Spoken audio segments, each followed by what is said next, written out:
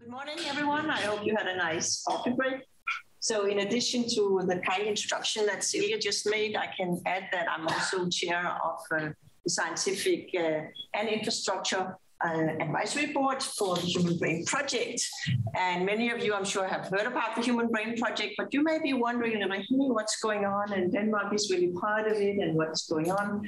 So um, the fact is that um, the Human Brain Project has now been running for almost 10 years. So uh, next year, I think will be the last year of Human Brain Project.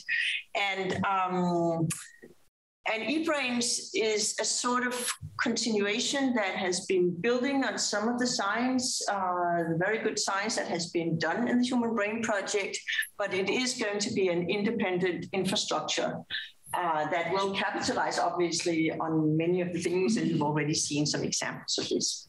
So the title of my talk today is From Basic to Clinical Neuroscience, and this is because I'm bridging between basic and clinical neuroscience. It will not be very much focused uh, on memory and learning, which we will hear about uh, very soon from a couple of other scientists. But um, I'm going to continue a little bit along the line with the atlases. All right, so I want to talk a little bit about the pig brain. You've heard about the rodent brain and the monkey brain and human brain. But actually, what is special to Denmark is that we've been using the pig brain a lot. And it is an animal that is increasingly being used for uh, new scientific purposes.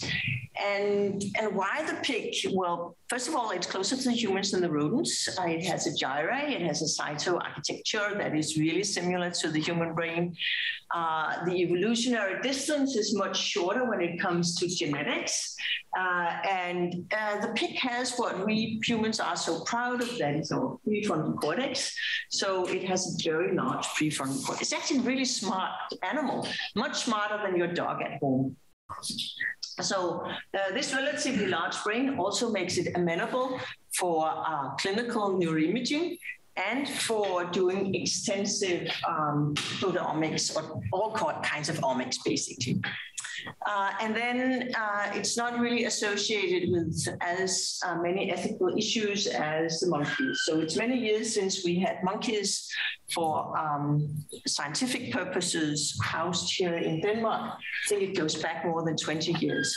So it is uh, quite um, difficult to, to do that. Um, but of course, sometimes it's nice to have access to monkeys. In that case, you can use to collaborate with others. And here you can see what we like about. Maybe we could get rid of this somehow so you can see it all. Let me see.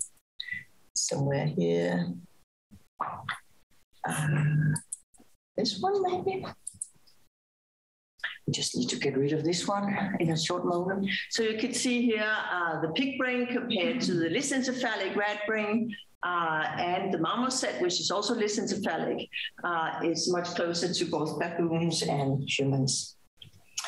So um, what we've been doing a lot with these pigs, uh, both here and in Aarhus, is to use them for different imaging purposes. And um, we've been using it for PET scanning. We've seen over and over again that the predictive value of using the pig is much better than uh, the rodents. And it is, so far as it has been investigated, very close to um, the, uh, the non-human primates. Um, and you can do behavioral assessments. And um, I won't talk much about memory, but in fact, what we've been doing also here uh, in Copenhagen is to develop some behavioral tasks, including memory tasks, um, object recognition tasks, or something called Y-maze, where the pig needs to remember which way it took last time it took a run. And they're actually quite fast learners. So you can do it. It's just it takes up more space. Um, so um, another thing which we've been using uh, these uh, pig studies for is for looking at behavior, drug occupancy, and uh, RNA sequencing or other omics. And this is a study we did some years back where we gave psilocybin, that is the psychedelic uh, compound uh, IV into the pigs. And we know from the rodents that they exhibit a special behavior that is related to the psychedelic. experience that we see in humans um, in terms of head shakes. Uh, and uh, the pigs also develop head shakes when they're given psychedelics. Uh, they also have a more variable behavior in terms of scratching and rubbing, but the head shake was what we were expecting, and uh, that is uh, uh, consistently seen after these IV injections. Then we can also do our radiotracer experiments. The psychedelics bind and activate the serotonin 2A receptors. So here at the top right, you see uh, time activity curves after we've injected a radio-labeled uh, Cimbi-36, which is an agonist radiotracer for the serotonin 2A receptor. And um, you can see uh, the blue one, uh, that's the time activity curve of neocortex uh, at baseline before the pig gets the drug. And then when we repeat it later, we can see that there is much lower binding. That's the red curve. Uh, and in this way, you can determine the occupancy, that is, how much of the serotonin A receptor is occupied by uh, the psychedelic. And the green line is the pharmacokinetic uh, curve of of the active metabolite, which is psilocin.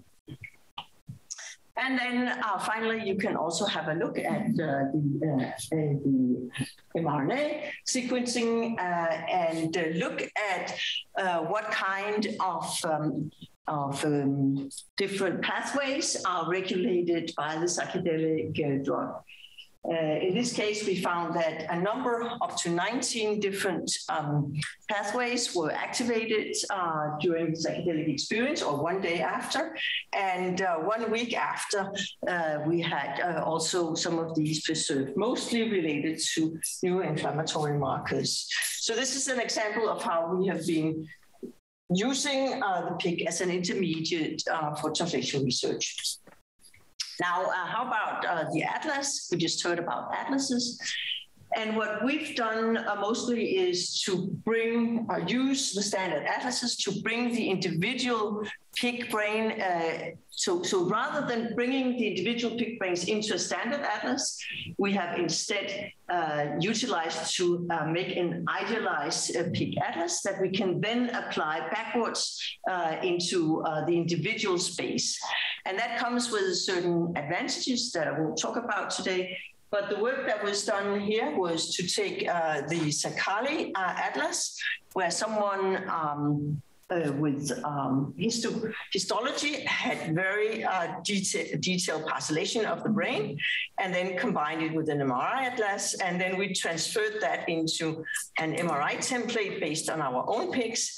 Uh, and then you can add that to a PET image and you can also do a parcellation uh, that can uh, then uh, bring everything into a new PET data space that allows you to look at different regions, which you can see here, uh, where you can automatically delineate brain regions on MRI and PET images uh, from uh, the pictures in the individual space brought into the MRI space. And here's the parcellated brain and the PET template of the serotonin 2A receptor in this case.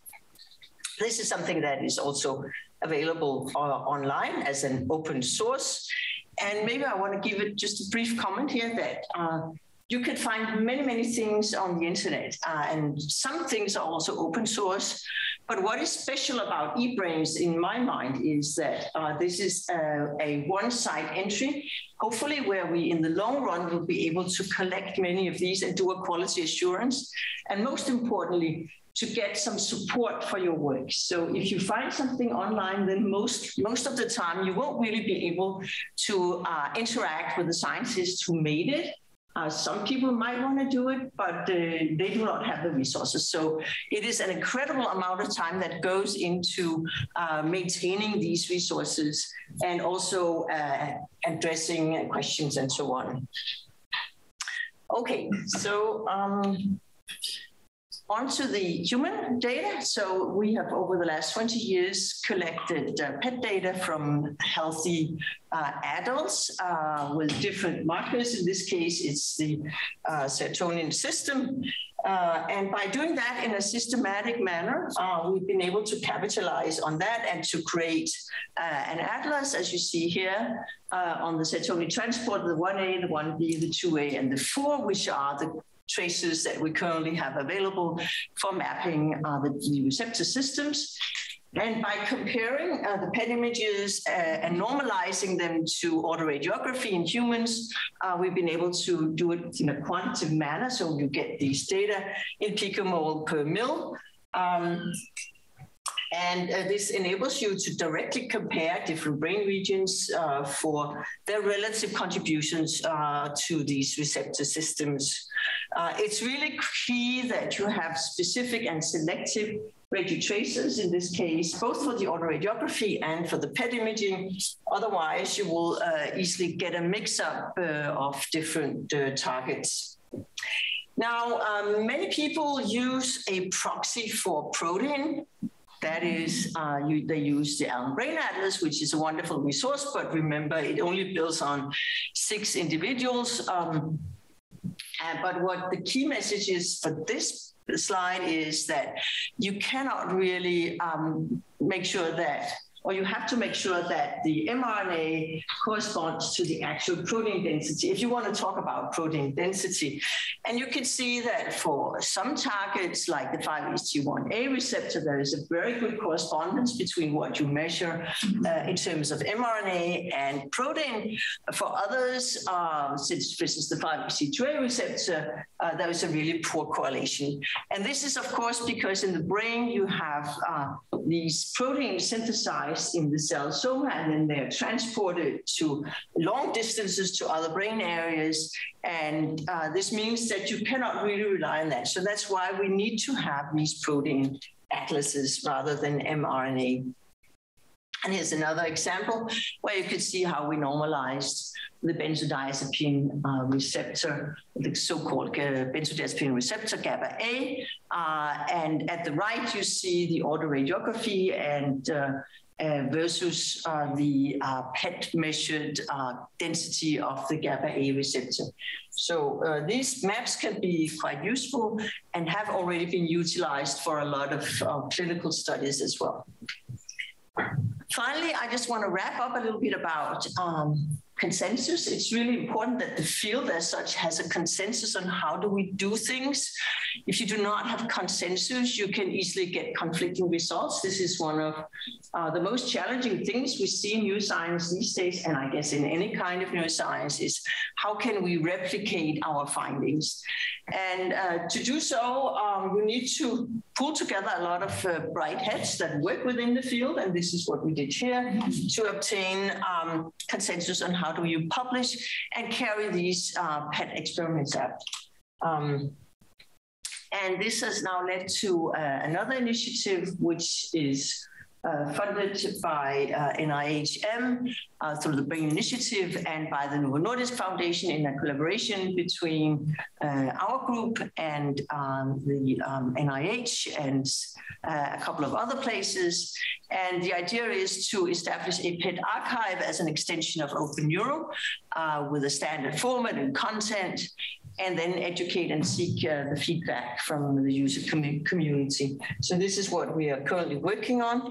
I see this as something that uh, goes well hand in hand with eBrains and that we should make sure to implement um, both here and of course in North America or the entire world, if you like, so that we can have these different modalities and use them uh, in a good manner.